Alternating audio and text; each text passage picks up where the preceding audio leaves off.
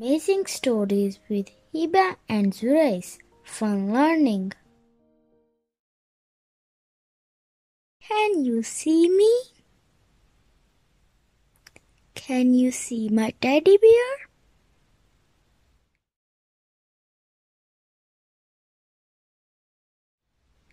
Can you see my dog?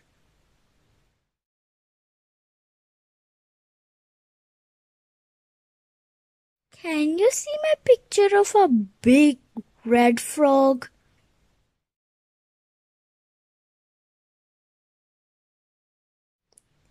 You can see my tiger if you look in the tree. Are you looking? Can you see me? Don't forget to like and subscribe to encourage us. See you next time. Bye.